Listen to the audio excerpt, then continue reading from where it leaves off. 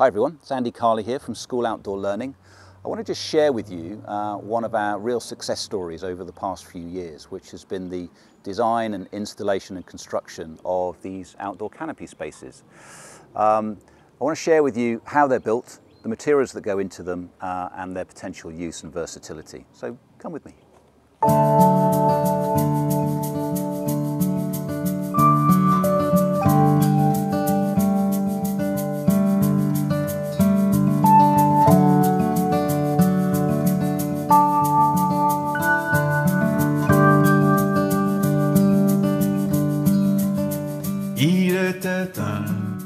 So this is the eight meter version, uh, which means it's actually, so it's eight meter from, uh, from side to side. So the diameter of the canopy edge itself is eight meters, but the poles and the wall actually sit just outside of that. So the entire footprint, screen, out, screen wall to screen wall is nine meters. So this means that this space is huge.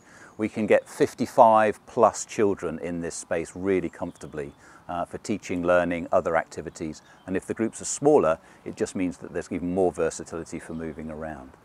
The canopies are octagonal in shape. They're made from a 450 GSM, really thick canvas material that's completely fire retardant. So it's completely safe to use and really, really versatile and very, very hard wearing.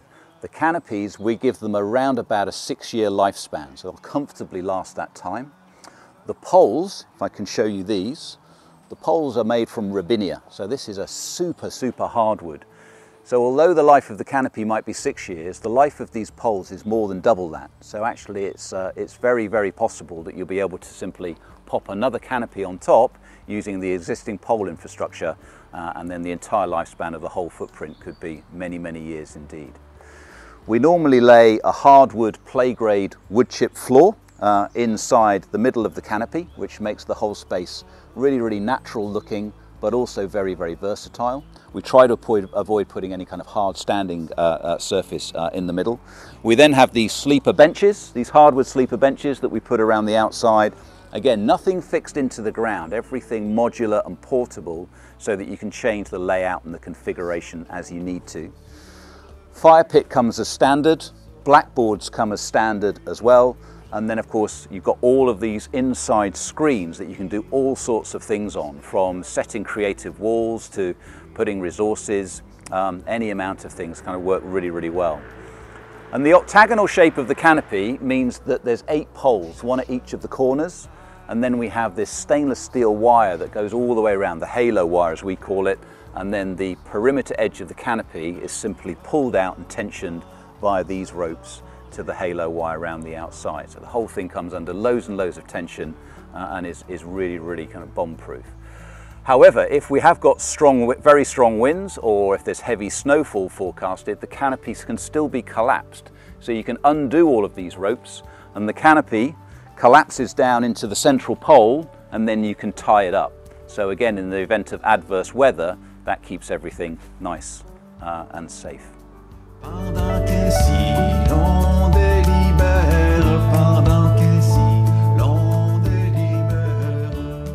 And there's a number of other additional features that we can add into the canopies. Uh, these can be done at the point of installation or retrospectively. One is we can we provide a winterizing pack whereby you can put flaps around seven of the eight sides and at the entrance you can have an opening doorway. So that's made from the same canvas material as the canvas itself. So essentially you're closing the whole thing in like a fully fledged yurt and it makes it snug, cozy and warm inside with a fire going and as I say to completely winterize it. The other thing we offer to turn it into a fully fledged eco hub is you can have solar power via a panel that sits on the outside of the canopy and then lights, charging points for devices etc can all be inside the canopy uh, again for those times when it's a little bit gloomy or wet. Uh, and then the final thing around kind of eco credentials for the canopy is we can also provide extra wide guttering uh, which fit around two or three of the panels and then you can rainwater harvest from the water coming off the canopy into a large water butt and then if you've got planters or raised beds or anything around it then utilizing that water uh, for irrigation can be really valuable as well. And we've even had schools that have put hammocks inside, uh, they've completely uh, closed in the, uh, the screen walls so that they've had a full kind of creative set of walls. You can have hanging points, um, all sorts of visual aids, uh, etc. So there's all sorts of things we can do uh, that will add to and embellish the versatility of the canopies.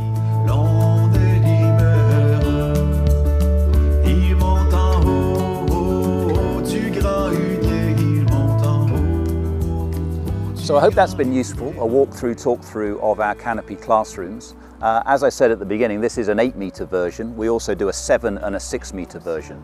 The 6 metre, even though it's that bit smaller, is still capable of, taking, of accommodating 25 children in the space quite happily. We've installed around 250 of them now in schools all over the UK, including Northern Ireland, and we're even exporting them to the US. So it's quite a unique uh, concept. Uh, we're really, really excited about it.